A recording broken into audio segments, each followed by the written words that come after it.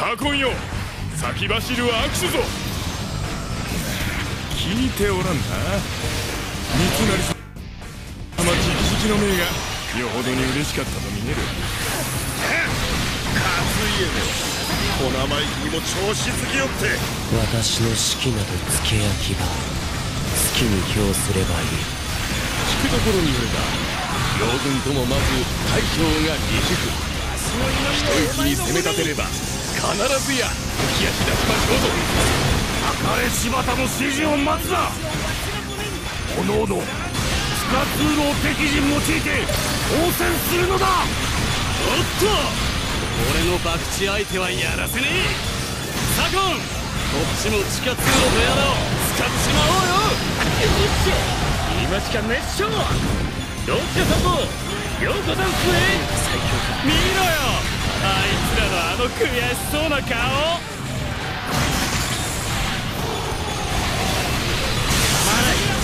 強引に拉致を上げてしまおう。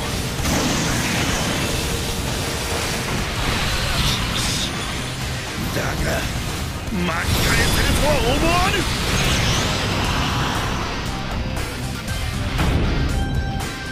門をかたどれ熱き絆よ。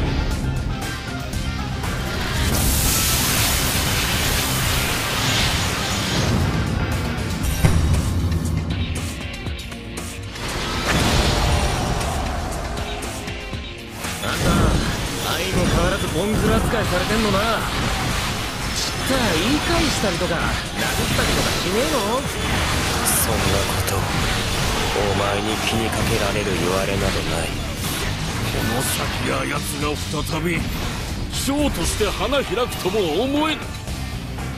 信長様も明智殿も何を考えておいでなのか。風紀の緩い兵を見た貴殿も見間違いであろう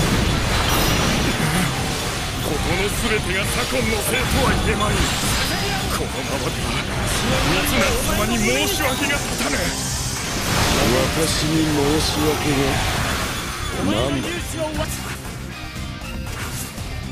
信長様に仕えたがゆえの宿命だ。手向けの言葉は必要ない。だろなんかあっちが騒がしいな。ってみみみみみ三成様預かる私がこの低たらくなのだあなた方の責など小豆の一つでしかない変わらないもっとより期待などしておらないこうなればいっそ勝家をおとりに撤退でを止める家康の心を守るためか奴が一体どんな傷を負ったというんだ。頼んます三谷様必ずやり遂げてみせるか。ら俺があんたにかけたようにあんたも俺にかけてくれ。いいだろう。左近私の信頼だけ。達氏なぜあなたがここにいる？まただの通りすがりだ。だが随分とピンチじゃねえか。時間稼ぎにして逃げるなりなんなり好きにしな。過去ならあるいは未来の私なら彼らの死に涙を流せもしたのだろうか貴殿はまたも戦国最強の名を欲しいままにするか。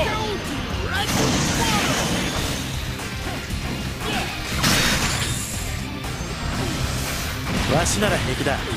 それよりみんなを気にかけていてくれ。戦国最強そのゆえんを見せてくれ。